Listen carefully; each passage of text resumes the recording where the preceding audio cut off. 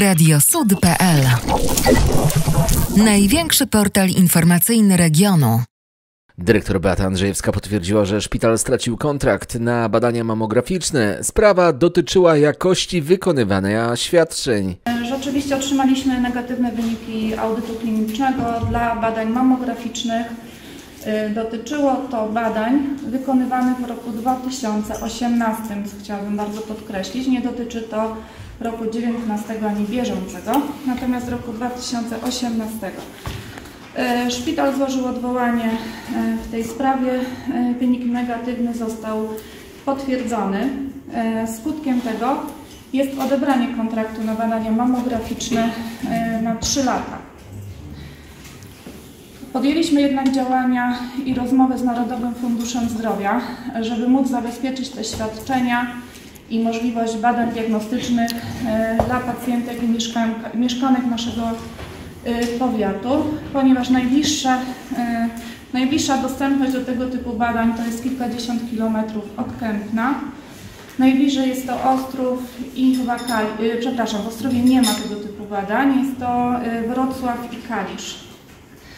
Dlatego w tym momencie trwają rozmowy z Dyrekcją Narodowego Funduszu Zdrowia, w jaki sposób e, możemy przywrócić możliwość wykonywania tych badań bezpłatnych dla naszych mieszkanek. Konieczna będzie w tym roku wymiana także sprzętu RTG. Na przeciwległym biegunie znajduje się za to pracownia tomografii. Nowe urządzenie zakupione przed rokiem praktycznie na bieżąco realizuje nie tylko komercyjne, ale także refundowane badania. Na koniec 2019 roku strata finansowa szpitala wynosiła 4 miliony złotych. W tym roku kolejny raz szpital otrzymał pożyczkę z budżetu powiatu w wysokości miliona złotych. Wcześniej było to już praktykowane i szpital taką pożyczkę zwrócił. Kępińska placówka zawarła także umowę ratalną na spłatę zadłużenia wobec Zakładu Ubezpieczeń Społecznych. Wynosiło ono 3 miliony 300 tysięcy złotych. Dyrektor Andrzejewska wspomniała, że w szpitalu zaszły zmiany personalne.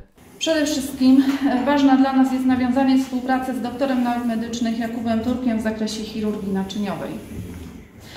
Są to procedury wyższego rzędu, których do tej pory nie wykonywało się w tym szpitalu. Zostało to także docenione przez Narodowy Fundusz Zdrowia, zauważone i docenione także finansowo.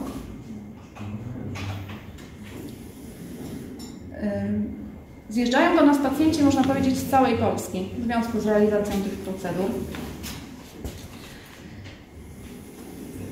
Pozwoliło nam to też na wykonanie kontraktu chirurgicznego, który w roku 2018 realizacja tego kontraktu zdecydowanie się obniżyła. Powró- powrócili do nas także inni lekarze, którym swojego czasu odeszli z tego szpitala. Nie chciałabym wnikać w powody tych odejść, natomiast one były, co było rzeczą niedopuszczalną. Radny Michał Solecki w trakcie sesji pytał o możliwość stworzenia poradni pediatrycznej. Sam mam dziecko i zauważyłem, że jest niezwykle ciężko zarejestrować dziecko e, do pediatry. Ale mówimy o lekarzu POZ. Mówimy tak o lekarzu PZ. I teraz mam takie pytanie, czy e, Pani Dyrektor, jak również Pan Starosta, nie, nie pomyślelibyście wspólnie, aby otworzyć poradnię pediatryczną przy szpitalu? Dlatego, że codziennie w jednej z najpopularniejszych przychodni pediatrycznych w Kępnie kilkadziesiąt pacjentów ustawi się o 7 rano w walce o to, aby zarejestrować swoje dziecko do lekarza, gdyż nie może skor- skorzystać z podstawowej opieki medycznej. No, pediatria, dzieci e, są uważam najważniejsze i naprawdę z tym jest bardzo ciężko. W tym okresie zachorowań teraz, jaki teraz jest, stoi codziennie 25 do 30 osób, aby zarejestrować swoje dziecko. Większość z nich wychodzi z kwitkiem. Jest walka o to, aby zarejestrować własne dziecko. Zgadzam się. Bardzo dziękuję za ten temat, Panie Radny, naprawdę. No to jest temat, który zdecydowanie dotyka także szpital.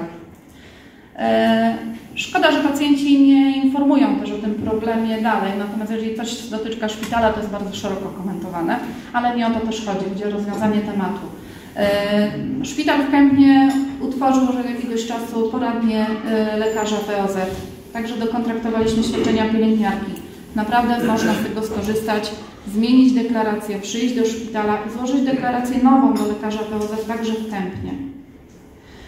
E, Ten temat dotyka nas dlatego, że ponieważ jeżeli świadczymy usługi nocnej i świątecznej, tak zwanej popularnej wieczorynki od godziny 18 i ten problem dotyka nas bardzo poważnie, ponieważ właśnie ci rodzice, nie mogąc dostać się do swojego lekarza z dzieckiem, przychodzą do nas na godzinę 18 i leczą dzieci u nas. Te dzieci faktycznie, nie chcę tutaj wyrażać opinii medycznej, bo w ogóle nie czuję się na siłach, natomiast faktycznie są to dzieci już wysoką gorączką, które są e, przesuwane z terminem wizyty faktycznie swojego lekarza na okres kilku, po kilku dniach, tak? Mogą się zarejestrować. Natomiast tak jak mówię, można korzystać z naszego lekarza podstawowej opieki zdrowotnej.